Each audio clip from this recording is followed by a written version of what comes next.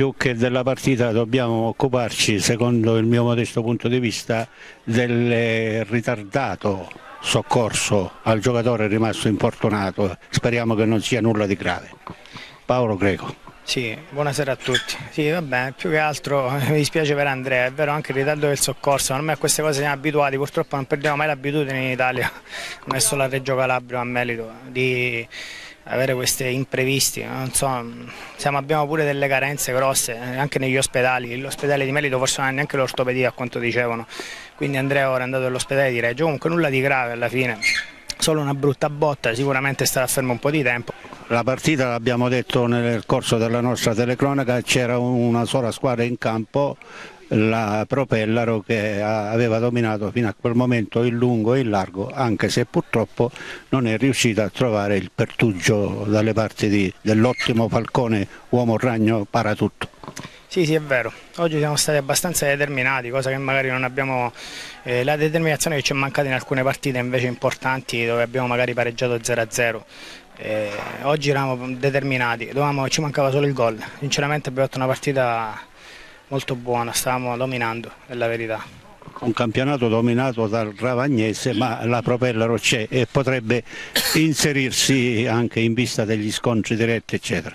Sì, sì, sì, al momento sinceramente il Ravagnese sta dimostrando di essere la squadra da battere è la verità, anche se è un campionato un po' particolare perché vedi il Ravagnese stesso è una squadra che comunque è prima, però anche il Ravagnese ha perso due partite. E di solito in questi campionati c'è la squadra ammazza campionato, quest'anno invece è abbastanza equilibrato. Nulla togliere ovviamente al Ravagnese che sta dimostrando sinceramente di meritare ampiamente il primo posto. Gli addetti ai lavori inseriscono la Propellaro tra le candidate alla vittoria finale. Sì, sicuramente credo la Propello sia una delle squadre che anche magari non arrivando prima sicuramente disputeremo i playoff o quantomeno ci proveremo fino alla fine. Siamo un'ottima squadra, abbiamo perso alcuni pezzi importanti durante il campionato per infortuni, alcuni anche per lavoro e quindi siamo un po' penalizzati durante le partite, però fortunatamente andiamo avanti. Che altro dobbiamo parlare dell'infortunio occorso al giocatore della Propellaro?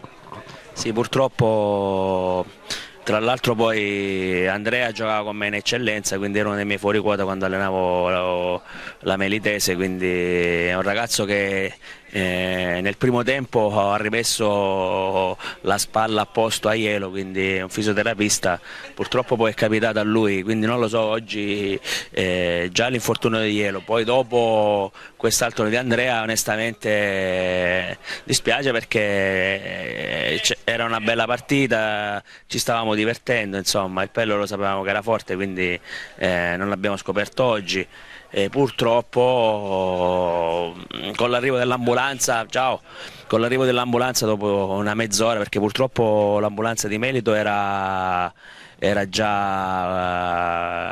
era già uscita, quindi mi hanno chiesto al 118 se volessi eh, far arrivare l'ambulanza di Palizzi, quindi il tempo, il tempo di arrivare insomma eh, ci è voluto, poi dopo mezz'ora onestamente ricominciare a, a, giocare con Andrea a terra che gridava, i suoi compagni soprattutto, ma, ma anche pure il nostro giocatore che fortunatamente e soprattutto a gioco fermo come è successo a Ielo ha subito questo infortunio. Secondo me non sarebbe più stata una partita di calcio, poi era passata più di mezz'ora, rischiavamo altri infortuni secondo me, quindi abbiamo chiesto, abbiamo parlato con l'arbitro se ci eh, tutte e due le società di interrompere questa partita anche perché eh, non c'era più lo spirito giusto secondo me per continuare a giocare.